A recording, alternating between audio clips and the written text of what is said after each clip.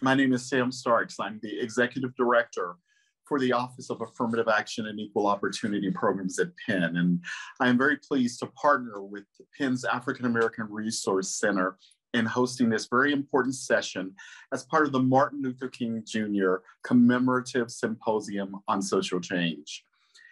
This is important for us to do each year because of who Martin Luther King was. Uh, the work he did for civil rights, the impact his work had, and the legacy that he left. He and thousands of others other people who stood and marched, and some even went to jail uh, with him, but they all believed that people should have the opportunity to succeed. That discrimination must end and that major change is indeed possible. Our civil rights laws that included the right to vote, uh, the end of segregation in schools and businesses, they were enacted as a result of the boycotts and demonstrations that he led. It was more than just the laws that created the change, though. It took the groundswell of others to um, affect the change within our culture so that we're no longer uh, bound to consider discrimination as part of the norm of our society. These acts, of course, as you know, have allowed us to examine our lives and to determine whether our actions are assisting in moving us closer to Dr. King's dream. Tonight, I am very pleased to introduce one of Penn's leaders who remains diligent in making Penn a better place. Joann Mitchell is the Senior Vice President of Institutional Affairs and the university's Chief Diversity Officer. She has um, a number of accomplishments that span the wealth of the Penn community. Joann oversees the Office of Affirmative Action and the African American Resource Office, just to name a few. She is charged with helping assist us with moving the needle forward with these issues. Her involvement in uh, other boards and uh, activities span the globe, not just in Philadelphia, but beyond. Her involvement with the Women's Law Project, the Philadelphia Education Fund, and the Annenberg Performing Arts Center are some great accomplishments, just to name a few. So tonight, please allow me to present Joann Mitchell. Thanks, Sam.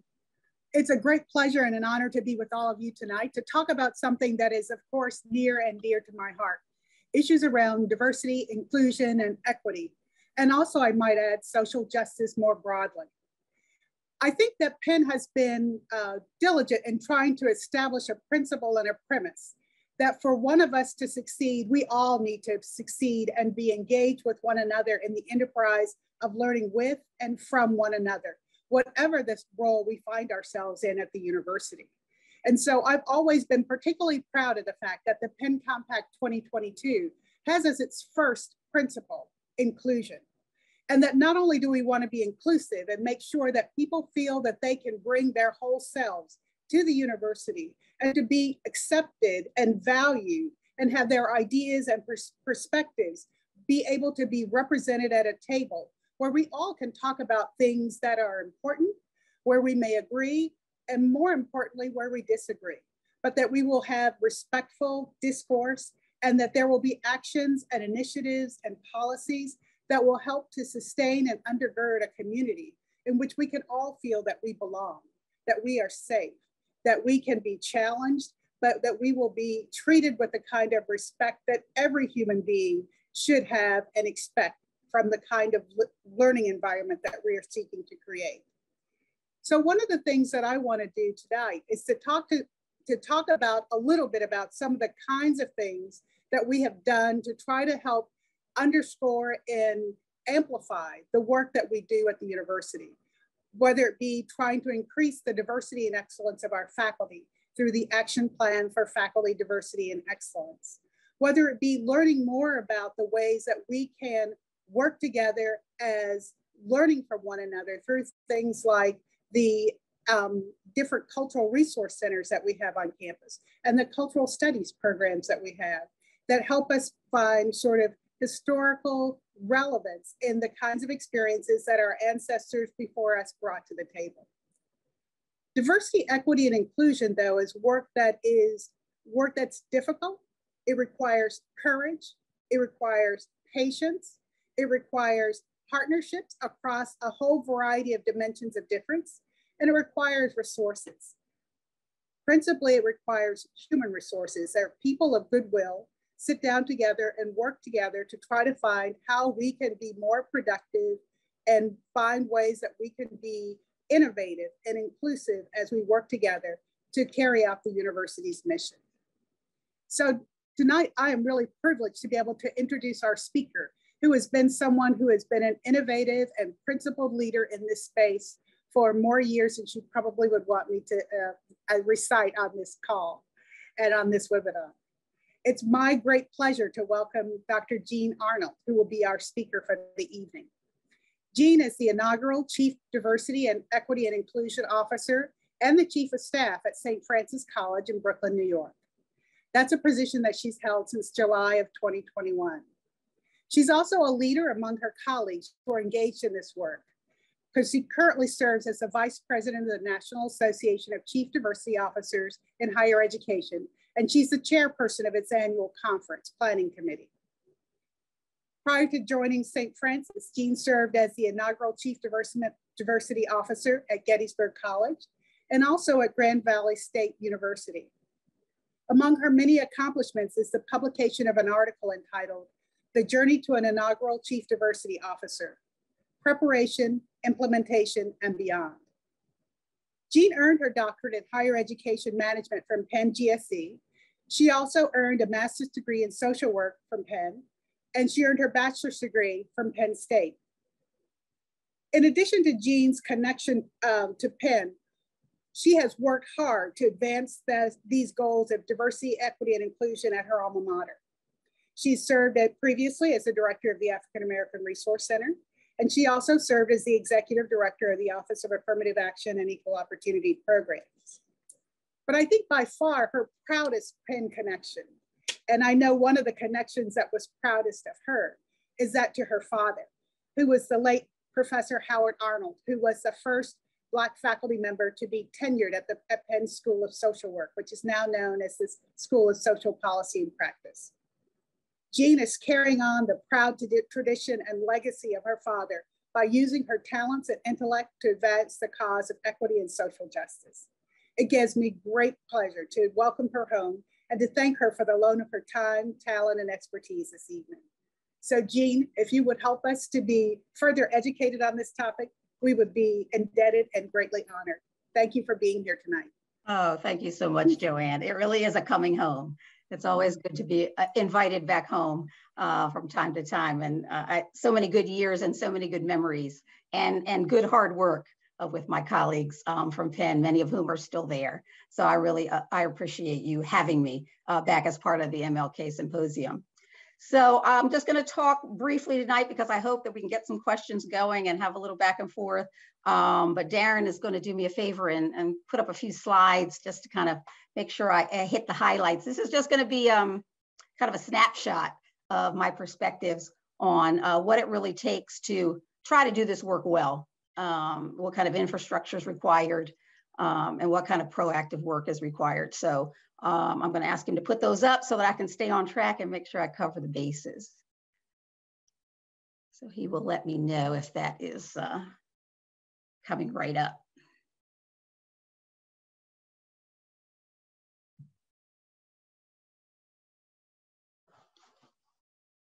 Great. Okay, we can go right on to the next slide. Thanks.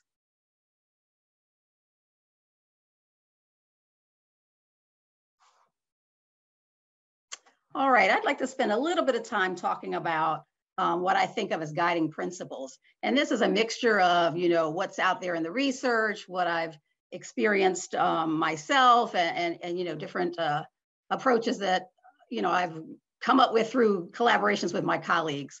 Um, and it really does take uh, that network of colleagues, I think, to do our best work. But it's all starts with, for me, having a change agent mindset um, there's got to be a, a, an approach, a way of thinking that when you come into an environment, you know, whatever the college or university or school, um, that you think about how are you going to bring about those changes?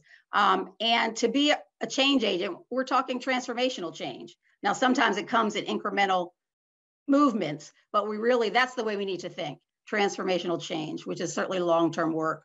And the real basis of that uh, is is trust, because all of this work, I think any work that's done well in this DEI space is done through relationships with others.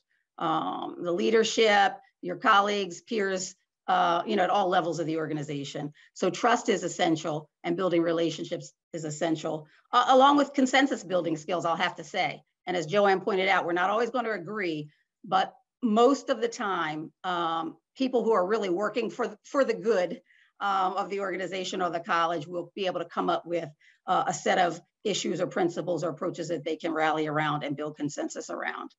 And even at a large place like Penn, um, you know, where of course every school is functioning independently on its own bottom, all of that, we understand all that, that's all good.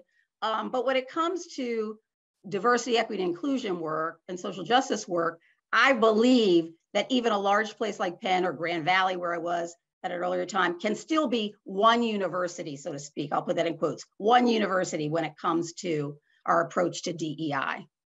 Uh, and so we, we don't want to be in a place where a person at one particular school has a set of experiences that are very inclusive and policies are on track and it's all very welcoming. And the school, you know, two, two doors down or a block down has a totally opposite experience and is not at all feeling welcomed. We want to have consistency, and that comes from kind of building a, a joint approach and infrastructure. So getting the mindset is important. And then, of course, uh, following the data. You want to, you know, look, you know, look at the existing data, uh, get your own data as, uh, you know, if need be in terms of, you know, doing some studies along the way, but you really want to use data to leverage uh, the goals that you're trying to achieve.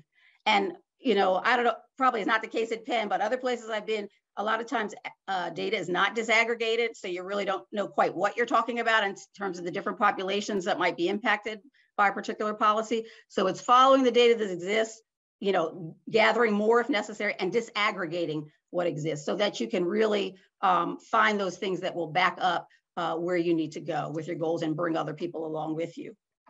Um, centralize and decentralize, it's sometimes find, hard to find the balance, but you know, the literature on this work supports that it's a combination of those two approaches, centralize and decentralize, that will lead us to the best end product in the work that we're doing. So the balance is hard, but that's again why we have to talk with each other um, and find things that we can align our work around. Um, I think there's often a shortage of work put in on developing uh, our own cultural competency and humility. And some of the literature I've read talks about, you know, some of the toughest groups to um, teach those, uh, teach a real understanding of humility too, are um, doctors and faculty, you know, so, um, and those, you know, those uh, faculty and, and, administrators as well, that's who we work with. So we've got to kind of check ourselves in some ways um, and do our own research and do our own work on ourselves. So to be as effective as we need to be in our organizations, we've got to do some self-work in addition to that. But I find that the principles that will tie all the different schools together in a particular place are these ones at the last bullet. If we all align our work around having uh, accountability that's really specified, that's in writing, who's responsible for what, who's responsible for monitoring what, um, and acknowledge, you know, where everyone can play a part. So that's where the shared responsibility comes in. Um, and then of course, evaluating, we wanna try things, we wanna pilot things, we wanna get feedback, we wanna do uh, short-term studies, we wanna do some long-term climate studies. Um, so evaluation can be defined in multiple ways. Um, but if we are specifying lines of accountability, identifying where everyone can share, evaluating as we go so we can stop doing what's not working and, uh, and keep doing what is working. And then finally, do it all with the eye towards institutionalizing it. We never want any of this work to be personality driven and you know the chief diversity officer or the diversity officers at the schools are doing things a particular way and they're so charismatic and, and, and so good at gathering people together that when they go you know, there, there's no infrastructure left. Everything revolved around them. So that's exactly what we don't want to do. We want to uh, make sure everybody plays a part so that, in fact, things can be institutionalized. I guess the last thing I would say that's not on here is that we also want to define diversity as broadly as possible. So, you know, diversity is simply the presence of difference, but we want to make sure um, we're not just talking about race, though we really need to keep talking about race and, and racism and all that goes on there, certainly. But we need to also remember other communities, um, ethnic and, and cultural communities, LGBTQ plus community, disability community, all of those things, religion, all of those things. There is no, you know, finite amount of energy we have to put, to put towards this work. Really, we can, not simultaneously all the time, but we can make room um, for all of our communities, you know, across our, our various campuses. So that's that's the other thing I would say that's not uh, not really pointed out there. Okay, let's move on to uh, get into a little bit more of this infrastructure. I'm a big person on infrastructure. I, I think that um, if we don't have a particular infrastructure, and these are just models, they're not the only way you can do it, but we have to have a structure in mind um, so that it's not, uh, you know, kind of shooting from the hip. And so these, I particularly like these three that are a product of uh, Damon Williams and Katrina Wade Golden. And it just depends, you know, for, uh, you know, a chief diversity officer over an entire, you know, large institution, I think the portfolio divisional model here, where there are units that report in to the chief diversity officer are really what works best. Because everybody else around the president's table at a university or college has a portfolio. They have folks who report to them, they have units that report to them. And in my view, um, and I believe this is really supported by the literature, diversity work should be no different. Uh, and so, you know, the, the chief diversity officer shouldn't be the only one at the president's cabinet or council table with no folk, you know, reporting to them to get the work done. So in a smaller place, maybe a unit-based model, and that could be some of the academic diversity officers that I understand Penn has and other schools have, which is great because that's a great complement to the chief diversity officer. Um, so sometimes it's a unit-based model. Usually the collaborative officer model, though, is the toughest road. I mean, that is really where resources are extremely limited and everything falls on an individual who maybe has a student support or maybe has a part-time administrator. Um, in, in many cases, that's really a setup for failure. Um, so, you know, as if we look proactively and if we have the opportunity in our schools and universities and colleges to set this up, we want to at least be looking at the unit-based model, but ideally the portfolio divisional model and so many different things. It's based on a particular, you know, university culture. So many different um, uh, units could report in. Uh, but the idea here is there, there must be a structure. It can't be haphazard uh, and really be effective. Next slide, please. Planning and implementation, of course, is critical. You know, Joann mentioned strategic plan. Other people have mentioned strategic plan. You know, and the university needs one. The the individual schools need need their own. You know, that align with that original plan. But the literature that I, you know, read and focus on for this work talks about four areas at minimum that all traditionally white institutions ought to focus on as they you know build up and build out their infrastructure so this is an outline of the four basics doesn't mean you can't do more or that you might not modify some of these but at the very least all things access and equity examining in a proactive way all things to do with recruitment retention of faculty staff and students is a must it's a must do. Uh, and so in addition to that not just our recruitment practices but what are our own internal policies? You know, going through all of human resources, you know, are our policies having a disparate impact on any particular population? Are we as family friendly and inclusive and family broadly defined? So there's lots to be examined in a proactive way. And if you have the opportunity to come in as a, a diversity officer at any level, in a school, a center, or a university, um, this is where you want to go to make sure that there are no gaps in policy, missing policies. I've been places where there was no policy in place to support folks to practice their religious beliefs or to, to, to be off and away from their positions during certain holidays. I mean, it's really that basic. People need to be able to be themselves and live authentically, as was said earlier. So access and equity of all kinds needs to be looked at. And then of course, campus climate. And we hear a lot about that, but it really can't be talked about too much. Um, there needs to be periodic looks at what's happening with the climate. And that can be done internally, it can be done with an outside consultant, it can be done in combination. There are many methods, but something periodic and reoccurring is a must. So there's a baseline that has to be established at first, and then every four or five years at the very least, uh, uh, another look so that you have longitudinal data over time that can show you where you're improving as an institution and maybe where you're stuck.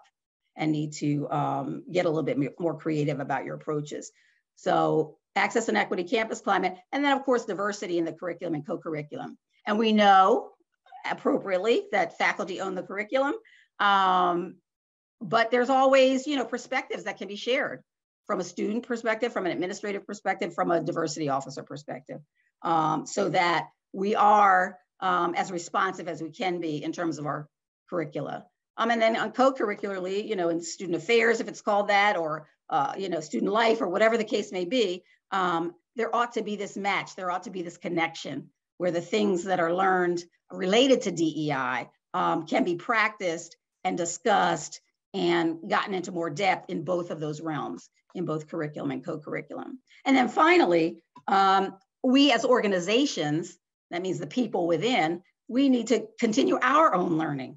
I mean, we often talk about lifelong learning, excuse me, for our students, but we, uh, you know, the administrators, faculty, staff, we, even though we are all learned, we need to um, continue our learning as well. So what are those very specific and proactive ways working with learning and education, if that's a part of human resources, or perhaps there's a training and development that's part of, um, you know, even the Office of Affirmative Action or, or other uh, entities on campus, how can we get the knowledge we need to be more effective in interacting with people who are different from ourselves um, and to developing those policies and practices that are going to support um, our community members, BIPOC and other um, in the best way that they need to be supported.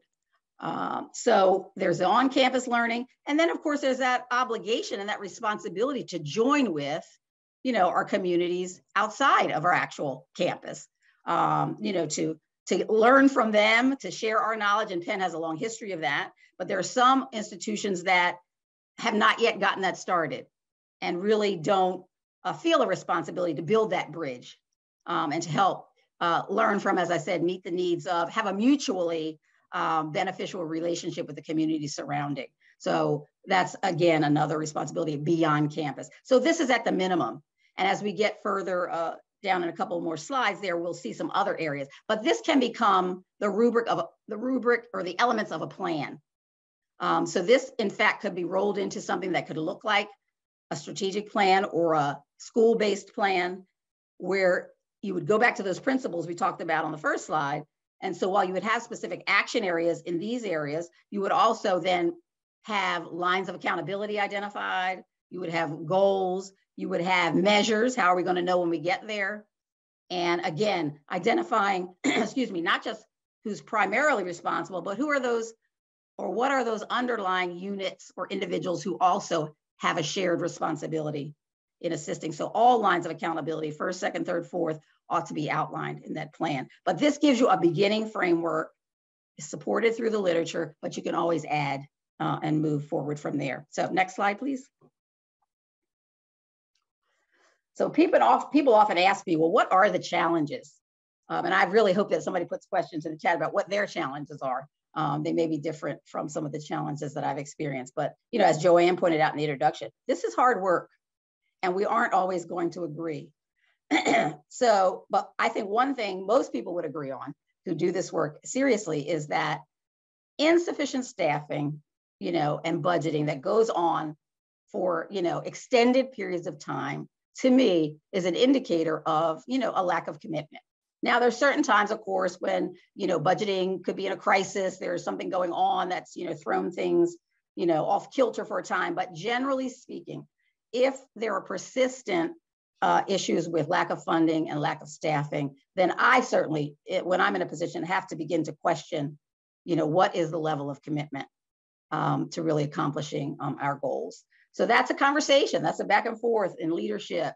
If it's a school, it's with the dean. If it's, you know, at the president's cabinet level, it's the president or, you know, provost or whomever might be the appropriate person. But those conversations, and they're hard, those heart to hearts have to happen um, so that we're not, as, a, as institutions, talking things at a certain level of commitment, but then actually providing resources at a lower level of commitment because those inconsistencies are so easily identified by our community members.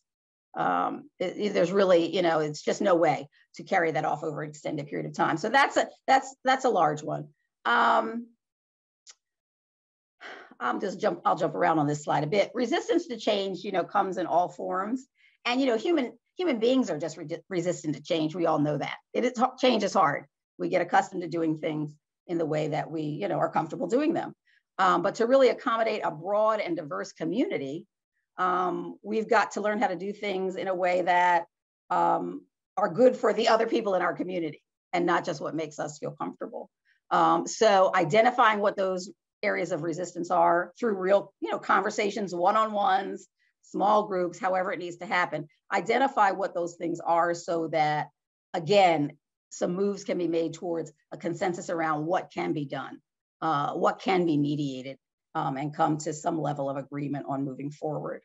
Um, now, a tough one is this middle one, at least in my experience so far, is trying to find the balance um, between uh, the right balance between uh, free speech values and inclusive community. And I'd love to hear some others' experiences with that and maybe some tips to share. But uh, and each community, you know, each organization, each uh, university is different. But that, you know, that has to be accomplished because um, oftentimes people of color in our communities feel as though free speech is being favored, and sometimes it is being favored. And then people who are, you know, really staunch believers in free speech, and that's really most of us believe in that, but those who are really um, pro free speech um, don't see where that sometimes rubs against or, or has a negative impact um, on inclusive community. Um, because sometimes some of the speech issues become what feels like personal attacks and targeted um, attacks on folks who are different from what may be the majority at a, at a given institution. And so I'd love to hear some stories about how you've handled that, but that those have been ongoing community. Then you find yourself in the town hall situation and um, community conversations, which is always good. Um, but those things really have to be talked through. And then for each institution, there's kind of a bottom line that has to be decided on just what is or isn't, you know, tolerated. You know, there's got to be a line somewhere. Um, that doesn't mean censoring and that doesn't mean speech, uh, you know, policies and that kind of thing. But there does come a point when I think we have to stand on our values and decide when, you know, one policy, if it's the free speech side, has really impinged on our ability to speak authentically about a inclusive community. So that's a, that's one that most institutions have struggled with. And uh, again, if anybody's got any solutions out there on that that have worked um, that they know about, we'd like you to share those. Um, of course, uh, you know, you have those individual um, interactions with folks, and this pre presentation is really about the kind of more of the macro and, and getting the infrastructure built. But sometimes there will be an individual or two who really, um, you know, not so subtly sometimes, um, really uh, makes attempts to, you know, either discredit the direction you're going or try to come up with research that refutes the direction you're going. But of course, you have your own research that you know, backs up what you're doing as a DEI professional. Um, and, you know, in my experience, when that happens, uh, sometimes it's best handled kind of, um, you know, really on the one-on-one in a, in a, you know, diplomatic and professional way. I've had to, you know, invite a colleague out to lunch or, you know, to the office or go to their office and really just be very direct, uh, you know, but diplomatic about how what I see they are doing is having a negative impact on where we as an institution have said we want to go. And we've said this in our mission statement, in our strategic plan, and other important documents. And how can we, you know, find a way to work together? Um, and bottom line, I have had myself, I've had to say to some folks, uh, and if you really cannot support it and be proactive, you know, at least don't obstruct what's going on. Don't be an impediment to something. Um, you don't have to come along. We need a core group of people who are going to support this work and move it forward. And I'm really okay with you not coming along, but at the very least, don't obstruct. But those are tough conversations. But I find when I have had to have them that, you know, that person has been very respectful. If we have not agreed, which has happened, they have, you know, chosen to step back a little bit and not be, you know, be that obstructor. So it's worth trying to have the conversation. And of course, racism in its many forms um, you know, I'm thinking here, I'm really empathizing with our public institutions where, you know, racism is manifesting itself through uh, the, the, the, the, state and local legislatures. Um, and really, you know, they're trying to get into dictating what can be taught and uh, how, you know, what can be funded. And, and um, many of my colleagues across the country are working in situations at public institutions where they really don't know if they're going to have a budget um, or when it might be cut. So those are serious stresses. And really racism, in my view, is at the bottom of a lot of those actions. Um, so let's go on to the next slide. But again, I'd love to hear some of your challenges and solutions. So we need resources. We all need resources for this work. And I, that's where I wanted to really spend a good bit of time. Um, and I have found that NADOHE uh, really has been a resource for me. In my, I started this chief diversity officer work in 2008, and this is my third um, position that I'm in now doing the work. And all of that time, I have had colleagues and resources that I could count on that I can pick up the phone or send an email or text at any time and get you know ideas and solutions brainstorm you know find out concrete approaches that maybe i haven't thought of or we haven't tried at my particular institution and everybody is more than willing uh, to help so more formally than that informal kind of networking are some of the things i've listed on this slide that i encourage you to take advantage of if you're not already um, the standards of professional practice are very helpful especially for folks who are new to the work new to dei work because it really outlines for you that document. Um, there's 18 different standards um, that NADOHE has come up with, and we teach a, a, professional practice institute a couple of times a year, um, which has gotten very good feedback. So please avail yourself of those if you're new to the work. Um, more recently, we've put out our framework for advancing anti-racism strategy on campus, and we will be doing a special session on that at our um, annual conference in March.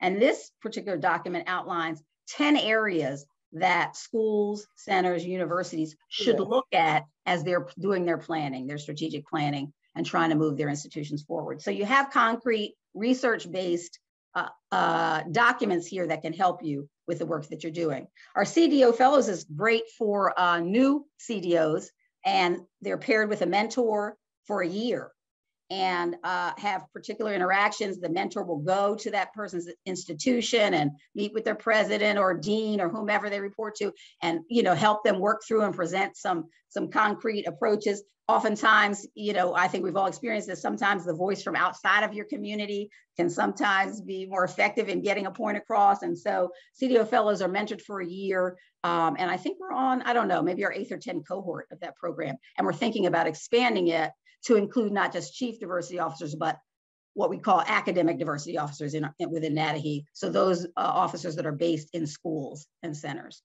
Um, we, we already mentioned the annual conference and we have got a great journal that is really presents the cutting edge research on this work. Um, it's very competitive.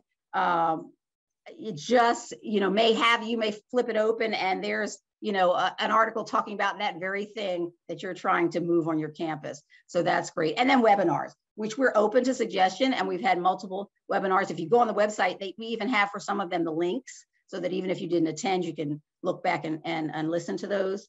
So there you have the website for NADOHE. So I would really encourage you um, to join as individuals or, you know, join, uh, I, I believe Penn probably is a member. I think Joann will correct me on, that, but I think probably you are. I know certainly um, the institution, Penn has contributed um, to our past conferences, especially when we were in Philadelphia, and we appreciated that um, sponsorship and support. So these, these are your go-to, in my view, formal resources that have served me well. And the last slide is just a few additional resources not related to NADOHE, um, but I wanted to share as well um, that I have found helpful. So if we could go to the last slide, that would be great.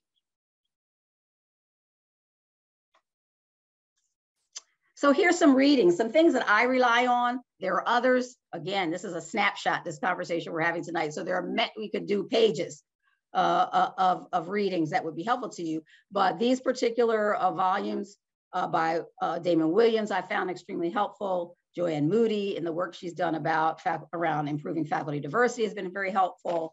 And um, the last one, the HEED Award, I didn't include that because I'm promoting the award. That's not the point. Um, but I did include it because it, it outlines some really good criteria to look at within your own school, center, or institution. And it's all self-reported. I mean, it, it almost would be like a mini self-study for you if you chose to do it in your particular school or center, um, or even the institution as a whole. So that's why I included that. I like the criteria. Everything from diversity of trustees, you know, to supplier diversity, which I know Penn has a robust program, but there are many, many areas. And again, it's all about, in my mind, the infrastructure. So we need to have the tools um, to know where to look. what to look at, what needs to be examined to see if there's a need for change or improvement. And between these resources and the one on the previous page from NADOHE, I think that provides um, a pretty good framework um, to get started and, and to or to grow and enhance and, and develop from the level where you're currently functioning. So I'm going to stop there because I hope we have some questions and um, can have a little bit of back and forth and share some ideas uh, about building the infrastructure in support of diversity, equity, and inclusion. We do have some questions, and thank you, Jeanne, for that presentation. Uh, one of the first questions that's really simple is, are the NADOHE resources exclusive to NADOHE members? Most of them are, uh, but when we have, um, a lot of times for our webinars and our conferences, we'll have a member rate and a non-member rate. Mm -hmm. So um, you'd have to really go through um, each one uh, and see which applies. But yes, some of them, some of them are exclusive, but many of them uh, you really can have a non-member uh, mm-hmm. relationship. And most of our webinars are free. So, and that's really to anybody who wants to sign up. Great. Um, you had been asking if people would talk about some of the challenges that they see. And one of the challenges is um, how to you avoid how to avoid the proclivity to redefine vernacular. Um, mm-hmm. And you know, when I when I read this question and and uh, the person had asked it, if you want to um, explain that a little bit, I can unmute you so that you can. But I'm thinking that um, I was one of our first programs was CRT and DEI, and mm-hmm. you know how we begin to talk differently about things. So I think that he's wondering about how we begin to redefine vernacular and sometimes history. So how do we avoid that? Right, right. Um, I think, you know, this is, it really depends a lot on campus culture, uh, you know, how much of that redefining is attempted. Uh, mm-hmm. And then maybe how much from the outside folks are trying to redefine for us on our campuses, what's really going on. Um, but I think there has to be really um, honest conversation on a particular campus.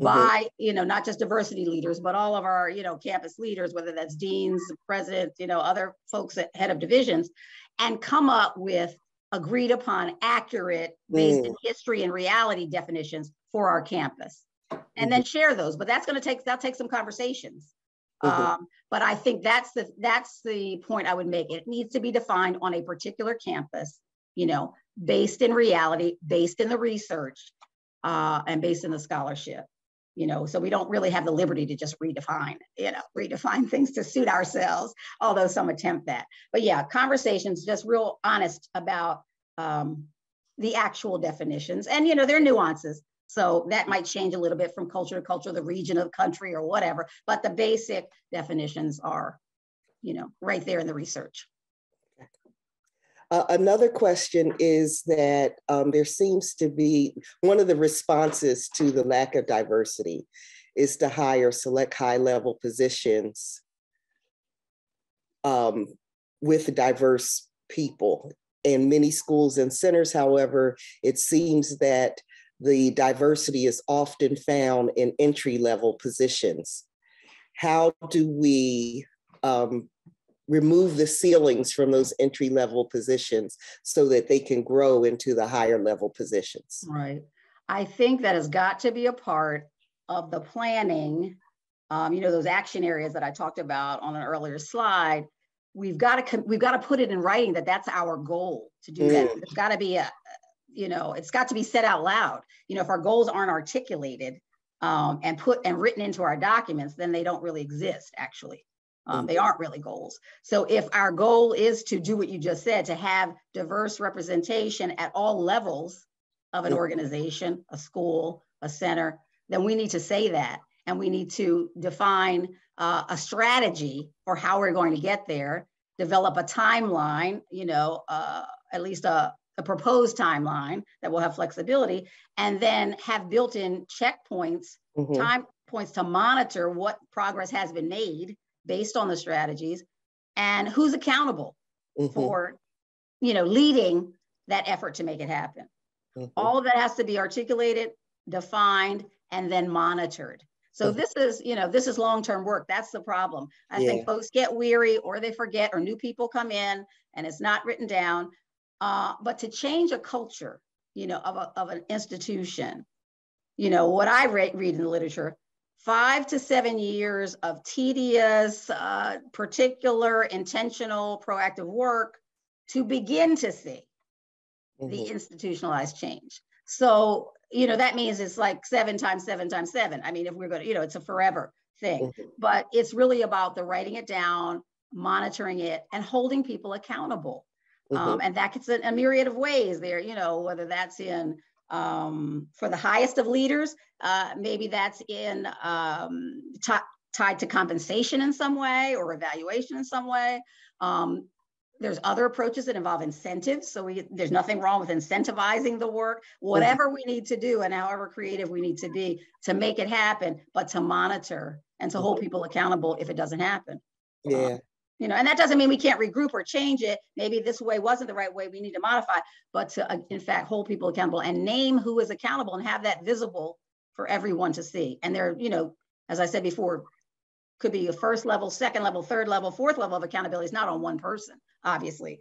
But to have those accountable, you know, have people know who they are so people can join with them to do the work. That's the other thing. If somebody sees somebody involved in that work, they know they're responsible. They can offer their, you know, their volunteer services to help um, to get things moving. Mm-hmm.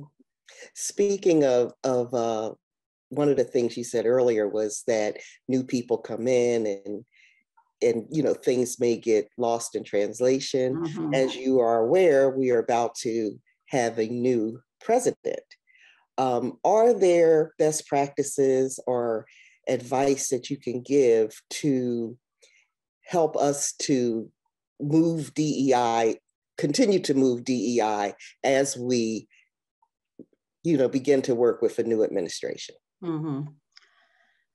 One, one of the approaches to that that I've seen that can be very effective is when, you know, there is a transition of leadership that, um, you know, in depth, and this is probably already happening in, in other topics, maybe not with DEI, but, you know, in depth um, briefing materials get prepared. I mean, historical, you know, the whole, you know, the history of the work at this particular place, you know, but really with a pointed view on any plans, um, you know, things that have been implemented, but an in-depth history. Um, and even at, when I went to Grand Valley, and I'm, you know, I was going as the diversity officer, not the president, but I had really in-depth briefings in writing and verbally on, you know, so that I could understand what had transpired, you know, over the long-term history of the institution. So those kinds of things have to be done.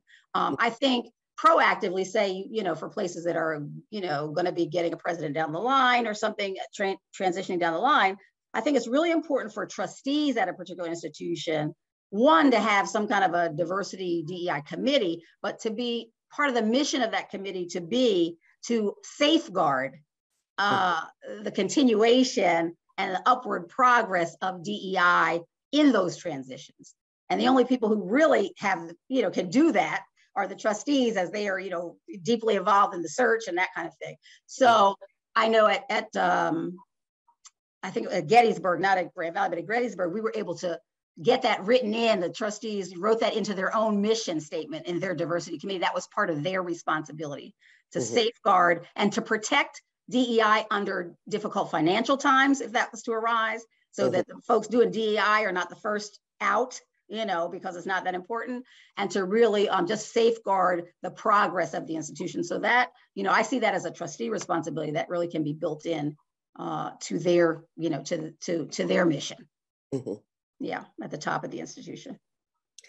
So there's a another comment and question. Um, um, someone is saying that free speech arguments have been in, have been the biggest challenge to overcome in some spaces. Do you have any techniques that you can talk about that you've used in balancing the values of freedom of speech and inclusivity. Mm-hmm. That is the toughest one. I mean, I can talk about a couple of concrete situations I personally have been involved in. Um, and so when, you know, just use the example, which most of us have dealt with of the speaker coming, you know, that is really um, uh, alienating or off-putting to much of your community. However, you know, um, they're coming for a variety of reasons. Um, so I've been in situations like that where we have, of course, attend to um, and, and pull together the communities that are feeling the negative impact first and to attend to their you know, personal needs and their support needs. But beyond that, to really bring the community together uh, to provide um, the other views uh, uh, you know, opposite to what this person is bringing. So I've been at places where we have proactively or preemptively brought in someone to give the other view prior to that mm. scheduled speaker even coming. Mm-hmm. So, and, and we had to scramble at a particular place. You know, it, it, kind of came to us late that the student group had invited this particular speaker. Yeah. And so on a Sunday, we were able to get a professor from another, you know, institution who specialized in talking about uh, uh, you know, anti, you know, Islamophobia and, and, and things like that, and got him in. So it was almost like an inoculation. It gave folks another set of uh, data to talk about and think about. So that was very helpful. And then, of course, on the, you know, sometimes I've been involved in situations where on the day of it's happening, you know, those alternative events, you know, some people say, oh, you know, what can that really do? But I've seen it, you know, really bring together a large community of people for uh, the campus to see that there's more people out here at this alternative activity than even in on, on the free speech you know speaker. So it's whatever works in that particular it has to be customized though to what would be meaningful for a particular community. So that means immediately taking the pulse of students faculty and staff about what would be meaningful to them. It can't be done in isolation by the cdo or a handful of administrators. So you have those quick conversations and then you put it in place you know in a hurry and it's all hands on deck it's the entire president's cabinet. It's the deans. It's everybody to get something happening like that that might have to happen in 24 or 48 hours. Yeah. Um, so you're planning, or you might have a week or two to plan. So you're planning for a week or two. All, everything else gets put aside that's not urgent. Right. Uh, and you work on that. And then you have your debriefing afterwards so that you can have some lessons learned and maybe do it a little bit more effectively the next time. But those are particular techniques that I've been a part of. I'm sure there's many more. Um, I've been involved in those. Speaking of conversations, what would your conversation be with a tenured faculty member whose views are completely anti, mm, antithetical? Yes, antithetical to DEI and are masked in academic freedom? Yeah. These are some great questions. Yeah. I've had at least one conversation like that in the recent few, past few years.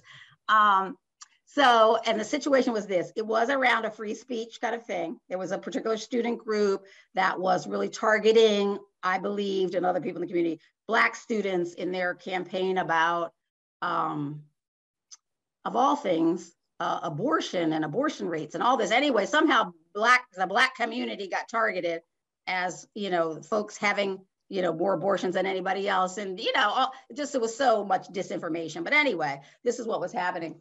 And so it really got to a point, it went on for a semester or two, that I felt as a chief diversity officer, I had to go on the record, so to speak. And oftentimes people will hear me say, you know, sometimes you just have to go on the record um, and say, kind of call people out not the particular student group, certainly. I mean, just the issue, call the issue mm-hmm. out. So I did this. I, you know, it'd been going on long enough. We couldn't seem to get any headway. And so I just went on the record with a letter to the community saying something to the effect of, yes, yes, you are permitted. You know, this is within the realm of what this thing called free speech. However, um, that doesn't entitle you to, to say, say and do what you're doing without a response. And mm. so here as a chief diversity officer, this is my response. I'm saying to you, this, this is antithetical to our values around community and inclusive community. So you may do it, but you can't expect to do it and not get the feedback that I and others are giving you. Now, this is not one of maybe two letters I wrote in seven years, you know, to the community, because I don't try to do that unless I really, you know, I feel strongly. Uh, and so next thing you know, my phone is ringing, you know, uh, and I'm some have some faculty tenured some are saying, oh, great, uh, this is really need to be said. I'm so glad you said it. And others saying, well, I think you've stepped over the line. You've gone too far. It sounds like you're censoring. I said, well, you know, let's come in. Let's have a conversation. That's what I said to the ones who agreed. So one person took me up on that. Others I didn't hear back from, but one particular professor. So I invited him to my office. I wanted to hear more about, you know, why he thought this was stepping over the line and, you know, all of that. So we had, we were in, we were in conversation for about an hour. You know, he presented his views and I presented mine. Um, and uh, we did not come to agreement, you know, by the end, but we did have a civil conversation. Um, and I believe, you know, uh, he had a better understanding of where I was coming from. You know, again, didn't agree, but we were able to have that conversation. And um, I said to him, you know, as a as an institution, we have to be able to live our all of our values. And when there is a conflict, we've got to speak to it. Uh, and while we can't prevent it, we certainly can respond to it. And nobody is free to speak um, without response. Mm-hmm. Uh, and pe- and so people, so I don't want to really hear necessarily, you know, folks who have, are getting this feedback, they're upset about getting the feedback because they're only entitled to speak freely. They're not entitled to be free of feedback about mm-hmm. their speech. And so that was the point I was making with him. And so I said, sometimes all we can do is go on the record. We can't stop something. We maybe can't change it right then, but we can go on the record about who we are mm-hmm. um, so that we can look at ourselves in the mirror and know that we are living you know what we have told our community and so it was a good conversation we went on we were colleagues we went on to do other things together um, during that time but he knew where i was coming from and uh, i didn't get any more you know letters like that about mm-hmm. stepping outside of my space mm-hmm. um, when I needed to do it. One of the things as we were preparing for this program that you talked about was the importance of developing relationships before yes. um, incidents occur. Could you speak yes. a little bit about that? Sure. I have, you know, it's just so important that I think um, that a community knows their chief diversity officer or their diversity officer, whatever the title may be.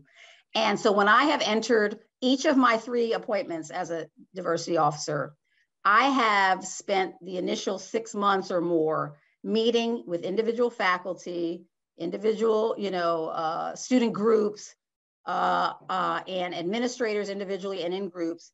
I just simply, you know, get on the phone or get on the email and say, could I have 20 minutes? Could I just have 20 minutes for an introductory meeting? And what I do during that time is um, tell them the kinds of things I'm thinking about, let them know a little bit about me. But I also ask them a few questions, and I ask everybody the same questions.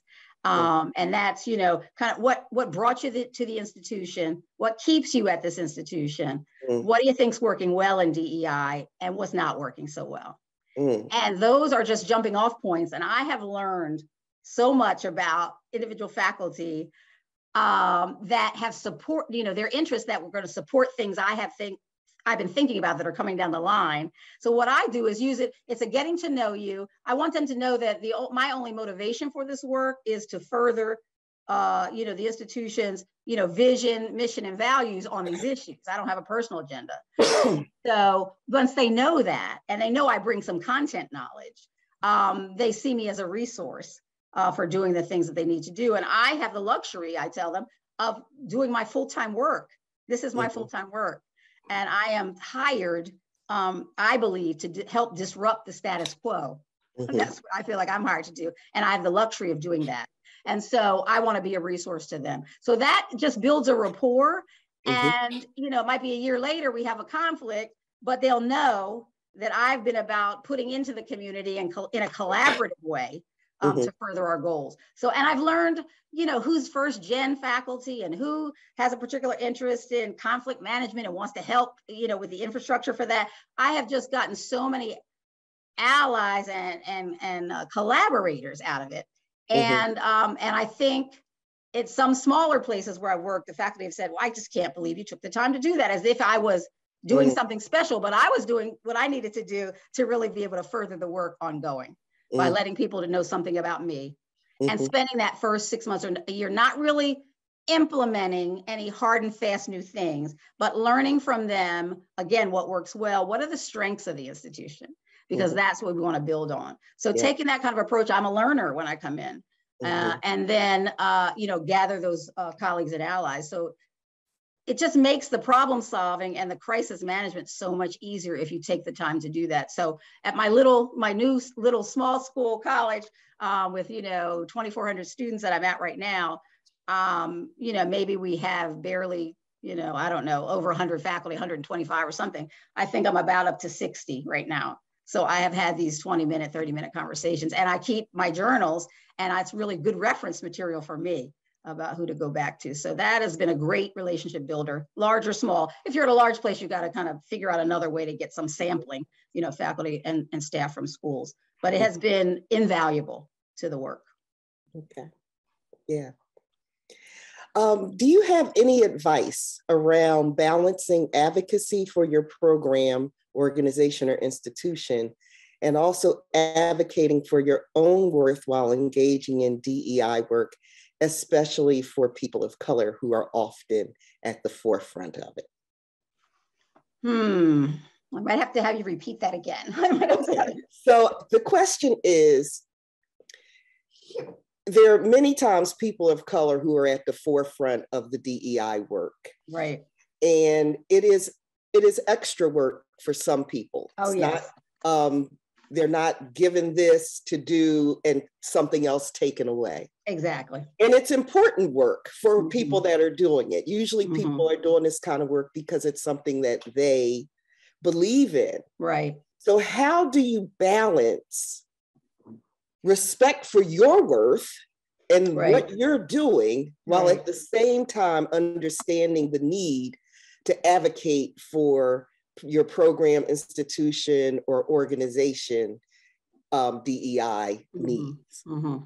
i think we have to um, and this takes courage you know to be able to have boundaries and limits even though this work is is critically important i think we have to be able to find a way to take care of ourselves um, because if not we're not going to be any good to the work or ourselves so it's kind of a common sense thing but it really it's it's real um, so we have to you know uh, be selective i think sometimes and prioritize and you know we can't do it all so to really identify those things where we have we feel we have the most talent ourselves that and can really contribute and make a difference.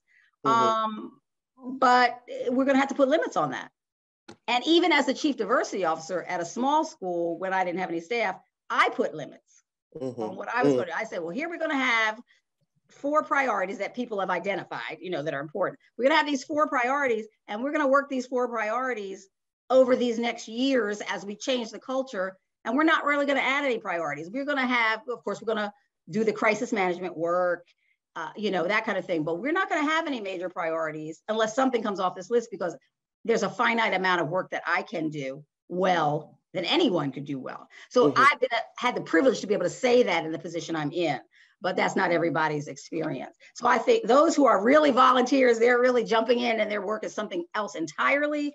Um, one, you never want to put yourself in jeopardy you know mm-hmm. you need to be working uh, you know you don't want to put yourself in jeopardy and um, i think collaboration is the key i think uh, you know getting like minds around the table and figuring out what needs to be done and dividing some of that up and people jumping in where they can is important and i've also i say give ourselves permission to come in and out of this work as we need to Mm-hmm. So, you know, I've been on, you know, led some long-term committees. We might be doing a climate study or, you know, whatever, writing some new policy.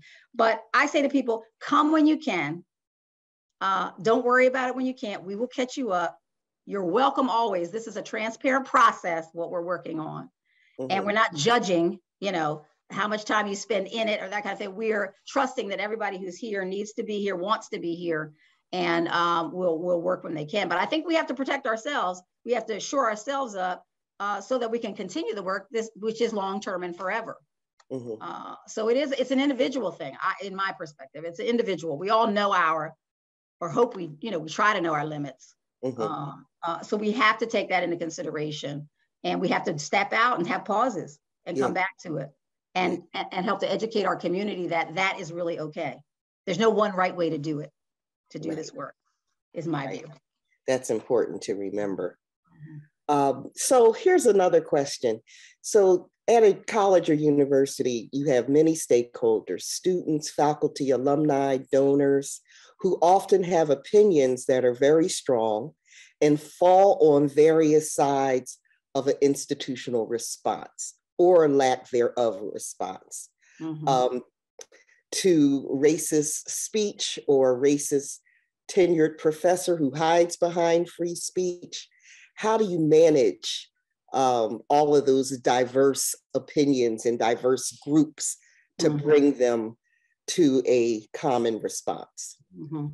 Well, one thing I've learned is that I can't do all of that myself as the chief diversity officer. And I've got to identify my collaborators and allies within those groups who can then speak to their own colleagues about what you know what the behavior needs to be or what the approach needs to be or what would benefit the college or university so i have always made it a point to you know within every group within trustees within administrators within staff at all levels i know the influencers. I, I try to identify who will be those influencers so that when something needs to be communicated and people are not going to hear it as well from me as they will from their peers or their colleagues i want to have that i want to be uh, of one mind with that person. Mm-hmm. and so um, that's how i've managed it. I can't you know especially in the trust at the trustee level for instance. Right. Um, i find out you know i get to know those key trustees and then they are influencing and they're uh, you know talking to their colleagues and building consensus about where we need to go. And i'm saying oh let you know let's take it slow. I, I understand this takes time. And then it gets to a point where they they get impatient and they want it to move faster. And so then it becomes their idea and then they're pushing it. So mm-hmm. i like to work with people until they they buy into a point that it really is their idea and it really is something they're going to champion and then i can kind of step back so i see my role as giving people the information or the tools or the ideas that they need to then do this work and take it into their own constituent groups. I'm mm-hmm. still there, you know, I'm cheerleading, I'm trying, I'm cheerleading, I'm trying to provide what people need, and I will be out front when I need to be. Mm-hmm. But I I try to find out or try to figure out how people receive information and how and what really allows people to take in new or different ideas what speaks to them. And I realize that it's different for everyone. So mm-hmm. what resonates with me as a social worker and you know, as administrator, all that, that, you know, that's not going to p- apply to most people that I'm trying to influence. Mm-hmm. So I have to figure out, you know, what either what is the business case or how does this affect the bottom line financially? You know, mm-hmm. that we ought to do this because this is a, this is going to be financial survival in our future if we don't really become that inclusive environment where students want to come and faculty want to come. So I just try to f- figure out, and it takes time, the argument that is going to appeal to a particular, you know, part of a constituent group or constituent group and speak to them in a way that they can hear. Uh, and we can all have different motivations for getting to the same place has mm-hmm. been my experience. So that takes, you know, that takes time and it takes, you know, collaborators. Yes. Somebody somebody who knows those folks better than you do, who sometimes help you and tell you what mm. will appeal to that person uh, mm. or that group. Uh, so.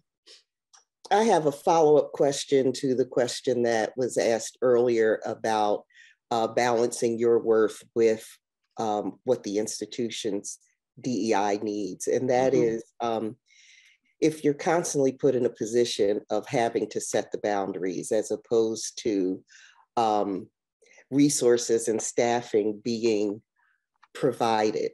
Mm-hmm. Does that speak to a lack of commitment or a lack of readiness from the administration? I would say both. I would say both. But but bottom line, if it persists for for an extended period of time, then it's commitment, in my view. Mm-hmm. You know, readiness can shift and change. Uh, but if it really persists, then I think it's all about a lack of commitment. What I would say to this is this is for proactive for your for your next position or a place, not if you're already at a you know at a particular place. But I think it's so important to do your homework on the front end before you join an institution. Mm-hmm. I mean, really find out, really get to you know figure out who is in that environment who can share information with you about how much the DEI work is real and how much is window dressing or checking mm-hmm. a box Mm-hmm. You've got to find your way in. If those are important issues to you, you've got to find that out on the front end. And then, you know, if it's reliable sources, believe what you're hearing. Now, that doesn't mean it can't, you know, be changed at all, but you need to at least be fully informed before you walk into an environment. Mm-hmm. So when you're interviewing for a job, and even though your job is X, if the whole DEI picture is really important to you, you need to be asking questions about that. Mm-hmm. and, and how that all plays out in terms of access and promotion and whatever the, whatever the case may be, whatever's of interest to you. Um, but you've got to find it out on the front end because what you find out, you know, um, and what people from the inside tell you is probably correct. Now you want to get a few opinions. Um, but you know there's a certain amount of change that will be possible. I'm a, I'm a believer that change is possible. I've seen it happen. Um, but the basics of what a community is you have to you know if you hear it you got to believe it and then take it on if you want to really go in and you're going to you know help battle that out and, and get it to be a, you know a better place that's all well and good. But do your homework on the front end. What does this institution value um, you know what are you know what are the wages or what are what do people think has there been up you know uproar and upset about that and you know what you know what kind of pay equity studies get done or whatever you need to learn you know from behind the scenes or in the interview you need to learn it mm-hmm. because mm-hmm. once you're in you know you've accepted and then you know you you're told that these resources aren't available it's it's harder to fight mm-hmm. you know and especially if you get surprised by that now if it's now it's if it's a bait and switch, which we hope that doesn't happen, you know, if some rosy picture is painted and then you get in and that's not really happening, well, that does happen sometimes. And then that's a different kind of decision that needs to be made about whether you can stay and fight and improve or whether you choose to another setting, you know, another place where you're going to have that fight. But I, I, encourage, you know, anyone, you know, making a switch, making a change, thinking of the future to um, do your homework on the front end and get you know get the real story as much as you can before you get in there that's something i've learned over time how to ask those questions um, so i don't want to be surprised so I, in recent years i've not been in a bait and switch situation i know what i'm walking into and i can begin to strategize before i get in there about how i'm going to need to approach things Oh, you're muted there for a second. I don't know why I keep getting muted. Two more questions. One is, could you uh, explain a little bit about the difference between a DEI officer or position and affirmative action compliance officers? Mm-hmm, mm-hmm. Well, I hope I can explain that since I was one and I am one. I was one before affirmative action and now uh, chief diversity officer. Well, to me, this is my perspective. Um, uh, affirmative action is, you know, needless to say, extremely important. Um, in it can be a part of a chief diversity officer's portfolio, as it is at Penn, because Joann oversees affirmative action. So, and I oversaw affirmative action at Grand Valley State. So it's it's a, a very important component of DEI work, I believe.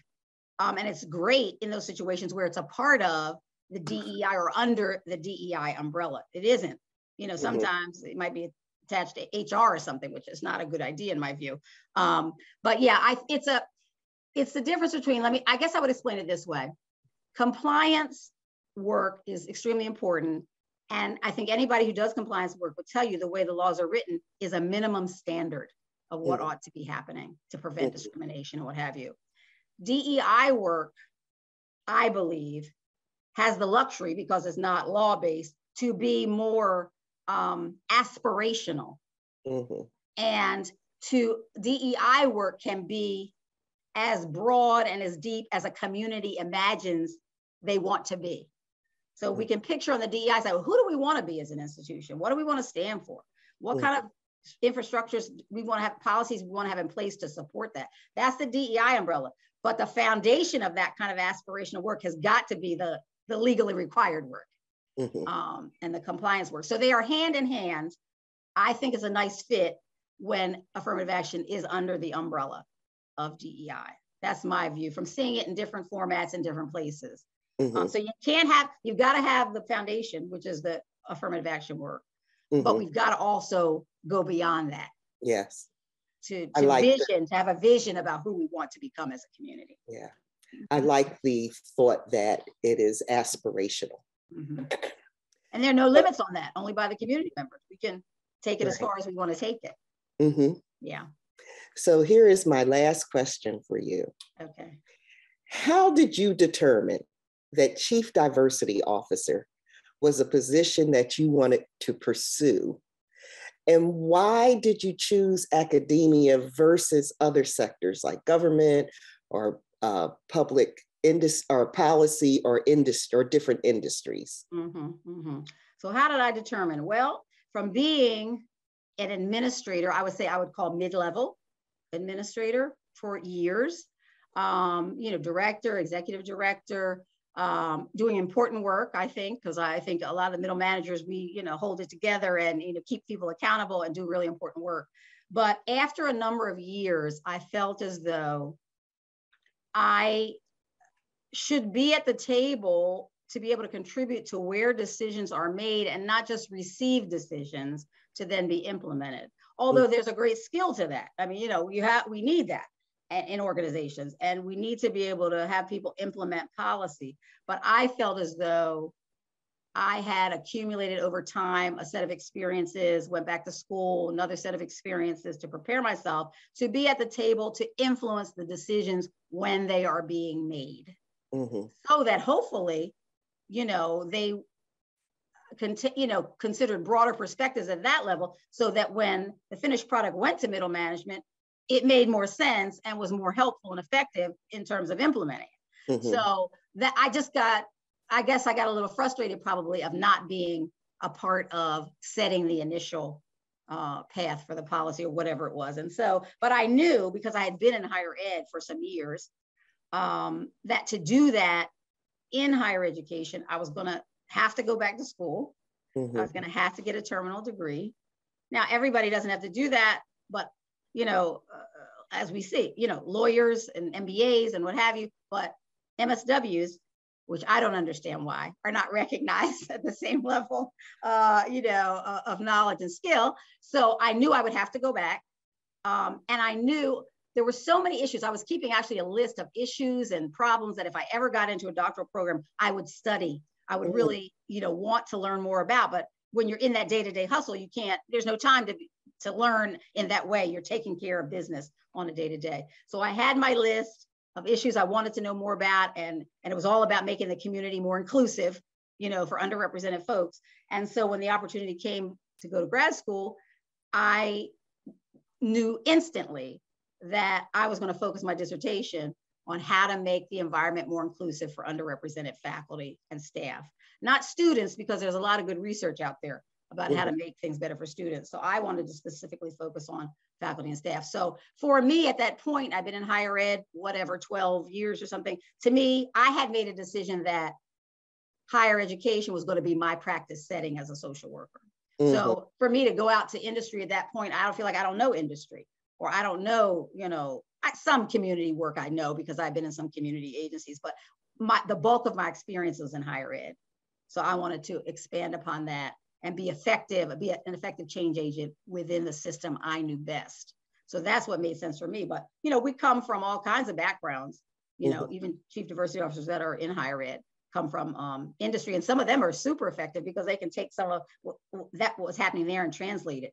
Um, mm-hmm. But to me, I had a foundation. I added to that with the academic preparation, and so what I felt in my dissertation was, in fact, like a primer for me to get my first chief diversity vice president's level job. And that is really what got it because I hadn't done the work.